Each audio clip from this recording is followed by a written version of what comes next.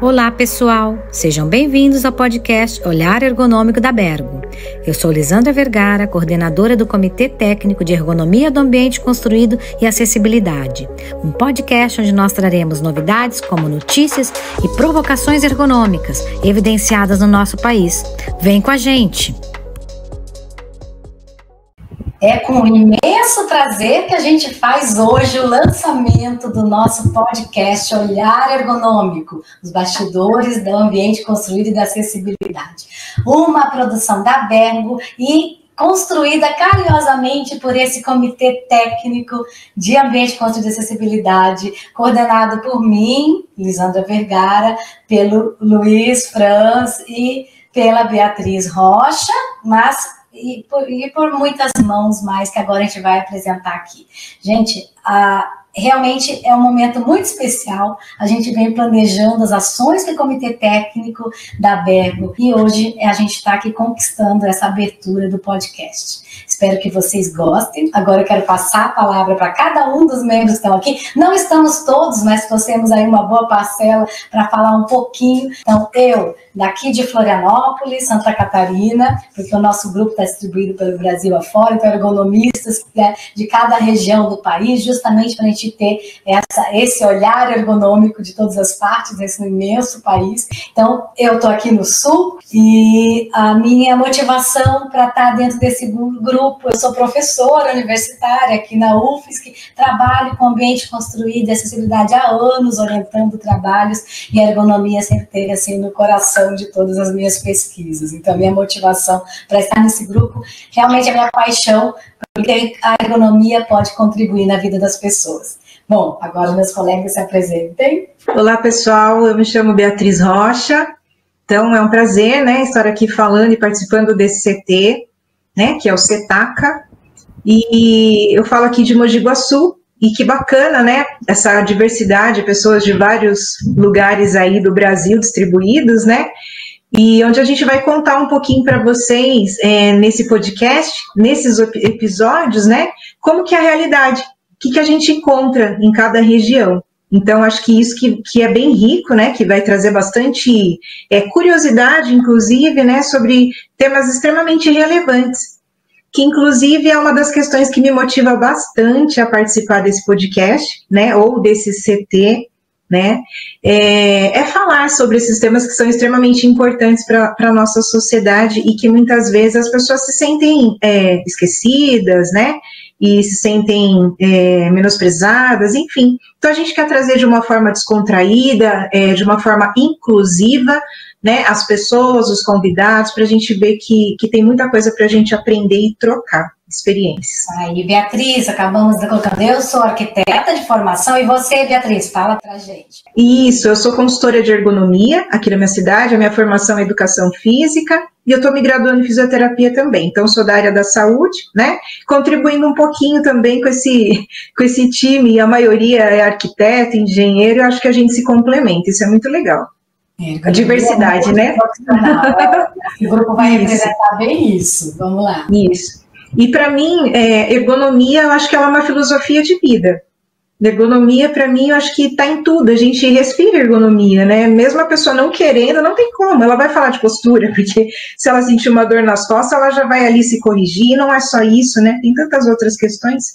Hoje, o psicossocial, os relacionamentos. Então, para mim, realmente, hoje em dia, para mim, é uma filosofia de vida. Isso é muito legal. Oi, pessoal, tudo bom? Eu sou Felipe Mujica, falo aqui de São Paulo, São Paulo capital, e me formei em arquitetura e educação física, né? Aí, o que, que me levou para ergonomia? Eu olhei e falei, nossa, eu entendo algo de projeto, sei alguma coisa de conforto, de como esse corpo humano funciona e tal, né? Como é que eu junto isso? Aí então eu falei, ergonomia é, é o caminho, né? Então aí segui toda uma carreira acadêmica aí, mestrado, doutorado, por vários anos estudando e trabalhando como acadêmico, depois transição de carreira para o mundo corporativo, né, para trabalhar com a aplicação prática da ergonomia, né? E o que me trouxe para esse grupo foi justamente saber que aqui tinha é, um grupo de arquitetos, de engenheiros, de designers ou seja, pessoas que trabalham com ergonomia de concepção, né? porque eu já sou associado da Bergo há, há, anos, né? Só que normalmente eu olhava para os grupos e falava: ah, esses comitês técnicos eles trabalham muito com coisa de como é que eu vou aplicar a metodologia, como é que eu vou a campo, e aqui eu encontrei o meu lugar, né? Eu falei, ah, é um lugar onde tem gente da ergonomia de concepção, de projeto para melhorar os ambientes, sejam eles de trabalho, sejam eles de qualquer tipo de atividade humana, né? Então, indo um pouco no que a, Beatriz falou, né, de que a ergonomia está em tudo, realmente, a ergonomia ela está em tudo e a gente, quando projeta um ambiente pensando no conforto né, e, e no uso é, inclusivo, onde todas essas pessoas possam fazer uso do ambiente, a ergonomia vai estar tá lá. Né? Então, para mim, ergonomia é isso. Ergonomia é, é basicamente inclusão e conforto, e, e, é isso que a gente busca sempre, um ambiente o mais agradável possível na hora que está projetando ele. Olá, pessoal. Meu nome é Gleice Lali, eu sou da Universidade Federal do Rio Grande do Norte. Eu sou arquiteta e urbanista e sou psicóloga. E eu, eu atuo na, na graduação de arquitetura e urbanismo e na pós-graduação em arquitetura e também em psicologia. É, o, que eu, o tipo de conteúdo que eu pretendo compartilhar nesse grupo é, é conteúdo de acessibilidade de percepção ambiental. É, focado em pessoas e situações específicas, em, em questões específicas como crianças, idosos, pessoas com deficiência em meio urbano ou adaptações da habitação. É, é, são, são questões bem específicas ligadas ao ser humano e ao uso do espaço. Então, basicamente, esse é meu interesse. Eu acho que ergonomia, e bem, arquitetura, acessibilidade e ergonomia partem todos de um grande princípio comum, que é o respeito ao ser humano a valorização e o respeito ao, seu, ao ser humano na sua diversidade. E é isso que me traz a esse grupo e que me traz a esse, esse tipo de atividade. Sou Juliana Gali, sou formada em fisioterapia, também ergonomista.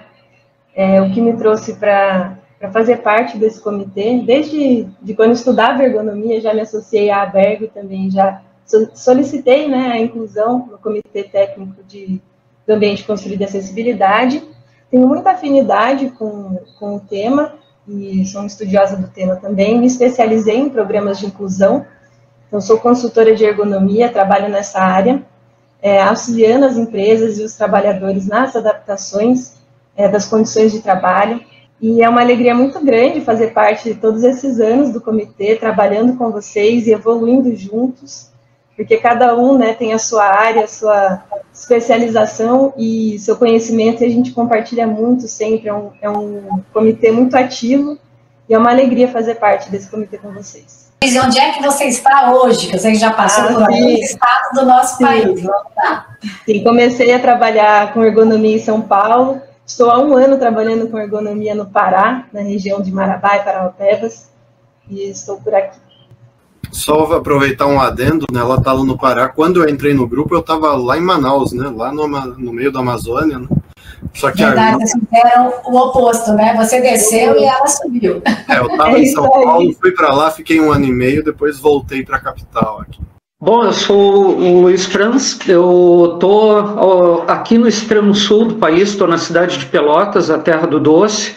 Uh, sou professor na, na uh, sou engenheiro civil, mas uh, convivo na engenharia de produção desde 2001, 23 anos aí, e desde 2005, 24 horas por dia pensando na, nos temas de segurança e ergonomia e dou aula na engenharia de produção, na UFPEL na graduação e na, no mestrado de arquitetura e urbanismo, tá? E, bom, eu estou aqui por dois motivos principais aqui no CETACA. O primeiro é a sensação de descoberta, que é uma coisa que eh, me faz muito bem, e a ergonomia é um terreno fértil, dada o tamanho dessa área, a quantidade de conteúdos que a gente pode se deparar. E, em segundo lugar, uh, a busca de consolidar essa área no país. Então, primeira coisa que eu fiz, entrei para a Bergo e fui direto para os comitês buscar a minha inserção nesses espaços e recomendo a quem está escutando o podcast que experimente acessar o site da Bergo, olhar os comitês, se associar e participar, porque a gente aprende muito. Essa turma aqui, por exemplo, do CETACA, é uma turma muito legal e a cada reunião que a gente tem é uma descoberta nova. E eu espero que no podcast a gente possa mostrar para todos aí, através do olhar ergonômico, a quantidade de coisas interessantes que a gente dialoga aqui dentro. Tá? Então, é isso. Olá, pessoal. Eu sou Michele Bart. Eu falo de linha nova na Serra Gaúcha, no Rio Grande do Sul. Vou fazer uma propaganda que nem o Franz fez. Eu falo do berço das cervejarias no estado do Rio Grande do Sul, então tem um bom motivo para estar aqui também. Eu sou formada em design, eu fiz mestrado e doutorado em diversidade cultural e inclusão social com estudos muito focados com usuários de cadeiras de rodas. Por isso, inclusive, esse é um dos motivos para eu estar aqui junto com o, o CETACA, justamente porque minha tese, minha dissertação, ela premiou muito o ambiente construído e acessibilidade. Então, nesse sentido, tenho a contribuir com o grupo também com o conteúdo. Então, as discussões que a gente faz aqui no CETAC, elas são incríveis, assim, cada um traz a sua uh, expertise na sua área, então a gente tem uh, dialogado e trazendo as informações, essa é a nossa ideia, que diz, não, vamos repassar isso para o público em geral, né, como o Franz falou, a ideia é a gente disseminar a ergonomia da forma que a gente enxerga, por isso olhar ergonômico, e para entender um pouquinho como é que foi criado, inclusive, a própria logo que a Michelle, a nossa designer, fez, ela vai apresentar um pouquinho, né, sobre essa marca, logomarca do nosso podcast.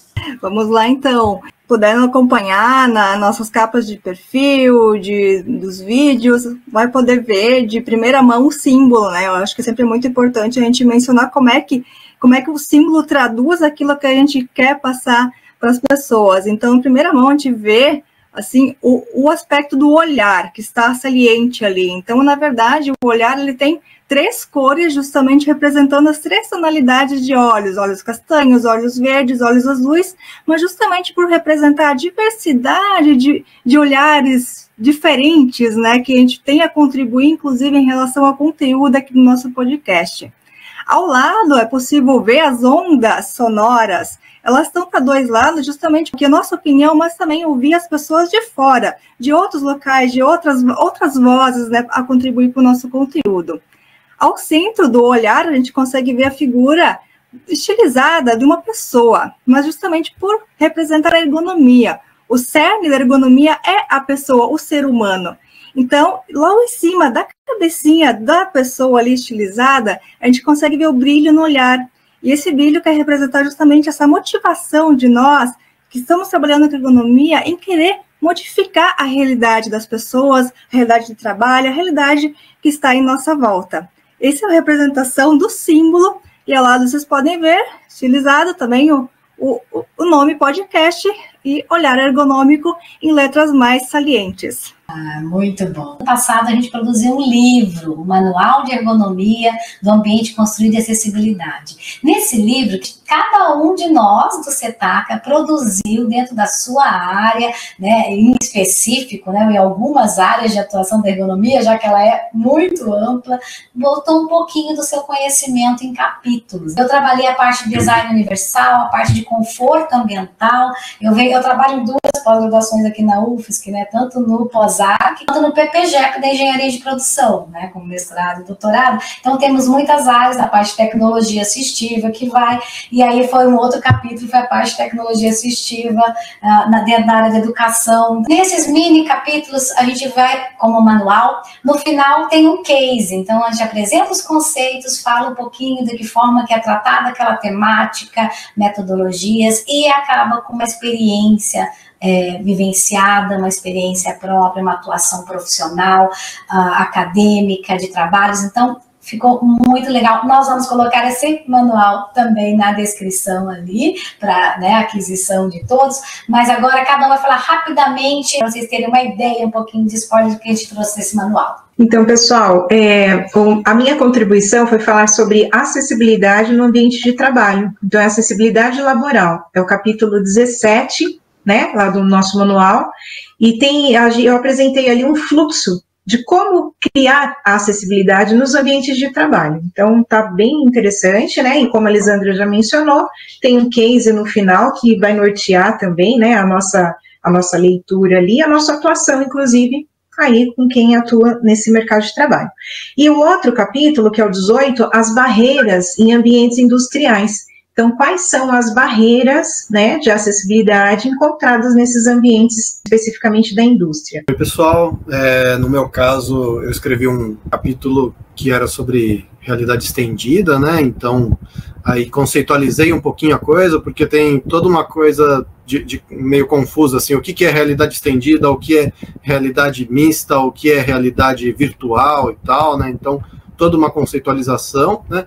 E também aproveitei para convidar dois colegas que escreveram mais outros dois capítulos, um sobre simulação e outro sobre bem a questão de suportes físicos para simulação, porque você tem toda essa coisa de o ambiente é, futuro de trabalho, então simulação também de é, situações de emergência, então aí a gente tinha três questões a tratar, todas elas entrelaçadas, sendo ou não com o uso de óculos de realidade virtual, ou então, às vezes, com alguns artefatos e coisas como maquetes e tal. Né? Então, basicamente, foi disso que eu, o Bratz e o João Bittencourt tratamos. O meu capítulo é, é o último capítulo do livro, do manual, ele é sobre acessibilidade emocional ele chama atenção para a capacidade do lugar acolher os visitantes, acolher as pessoas, ou seja, gerar afeto, fazer com que as pessoas se sintam bem e, e tenham a sensação de fazer parte daquele, daquele ambiente em termos de pertencimento. Então, é uma discussão bem subjetiva, mas é uma discussão bem importante, porque às vezes o ambiente é totalmente acessível em termos de, de, de condições físicas, por exemplo, mas a pessoa acha que não, tem alguma sensação de que não pertence àquele lugar, ou que aquele lugar não é adequado a ele, a ele ou ela, e aí simplesmente não vai por causa dessa sensação. Então, é, é, acessibilidade emocional tem a ver muito com essa questão do acolhimento, da pessoa se sentir um ser, um ser total, um ser aceito e, e relacionar-se bem com o espaço e com os outros que estão naquele espaço.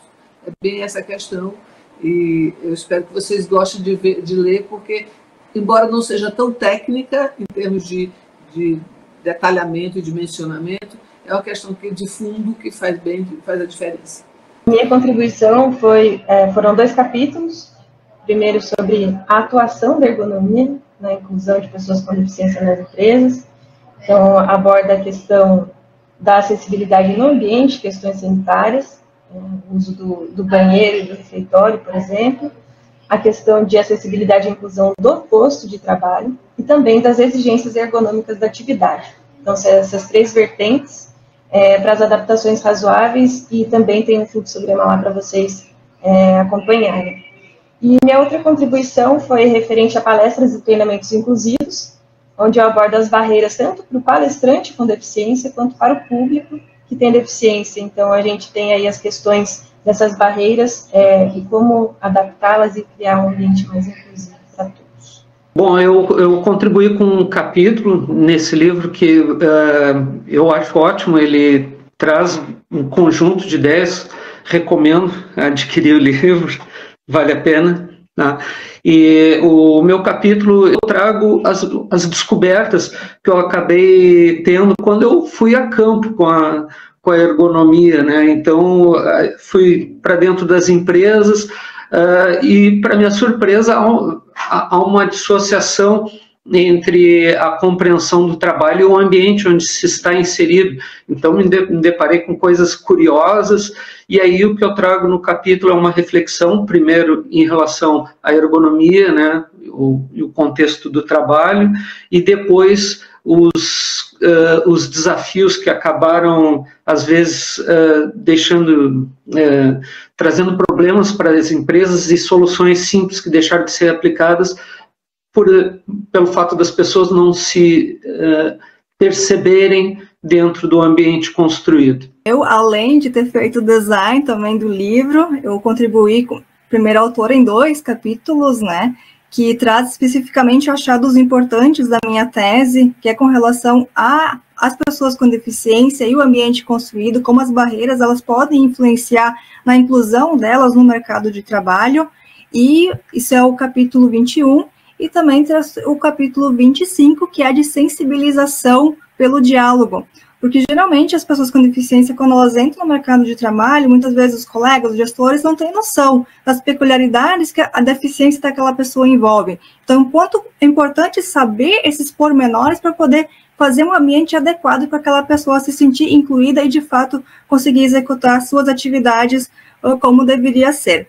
E também eu tive a oportunidade de convidar a ergonomista Jacinta Renner para também escrever o capítulo sobre mobiliário ergonômico que está na primeira parte do livro. Para fechar, pessoal, em uma palavra, o que a ergonomia representa para vocês, na vida de vocês? Minha palavra, hoje, o que eu sentindo é compartilhamento. Para mim é, como eu já disse lá no início também, é filosofia de vida. Eu acho que é uma filosofia de vida, assim, de é, compartilhando coisas boas, né? Com o objetivo de coisas boas para todos. Para mim, ergonomia é conforto, né? É algo que eu tenho estudado por muito tempo e a gente tenta, através da ergonomia, evitar o desconforto, né? Eu acho que essa é a grande questão, evitar o desconforto e sempre estar em busca do conforto. Falar em corpo, experiência, respeito, valorização de afetos. Eu acho que a ergonomia tem que trabalhar para que essas coisas aconteçam. Para mim, a ergonomia é, é inclusão. A ergonomia tem o foco de adaptar as características psicofisiológicas dos trabalhadores. A deficiência é uma das características dos trabalhadores. Então, a gente precisa ter esse olhar para promover é, uma ergonomia mais inclusiva. É isso aí, inclusão para mim.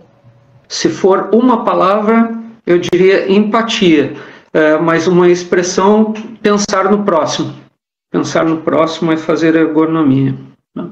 Para mim, a inclusão é saúde. Fazer mudanças, promover projetos, criar projetos que promovem a, a saúde das pessoas não tem preço. Então, isso, a saúde junta, inclusive, com a inclusão social. A, a pessoa poder estar incluída na sociedade por meio da sua saúde, por meio de condições adequadas de trabalho, de produtos e vivendo. Ficou lindo, gente, muito bom. É proporcionar um mundo melhor, né, para todos nós, em todos os sentidos. Acho que a gente tem essa, esse papel, esse olhar ergonômico que faz a gente profissionais que sempre estão buscando essa, né, esse bem-estar ou essa melhor forma e condições de vida e conforto para todos nós. Fantástico, gente. Espero que todos gostem das nossas ações. Cada um de nós, em cada canto desse país, vai estar trazendo convidados para falar um pouco do que a gente mais gosta. E, claro, com algumas provocações, crítica daquilo que a gente gostaria que fosse melhor.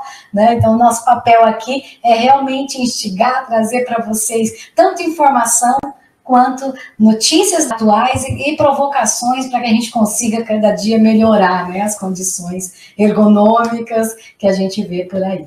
Um grande abraço a todos, né? Prazerzão estar com vocês, pessoal. Vamos em frente. Tchau, gente. Até qualquer hora. Abraço. Tchau, tchau, pessoal. Você acabou de acompanhar o podcast Olhar Ergonômico, os bastidores do ambiente construído e da acessibilidade, uma iniciativa da Associação Brasileira de Ergonomia. Espero que vocês tenham gostado. Se quiser nos acompanhar, acesse www.abergo.org.br e venha fazer parte desse time. Até a próxima!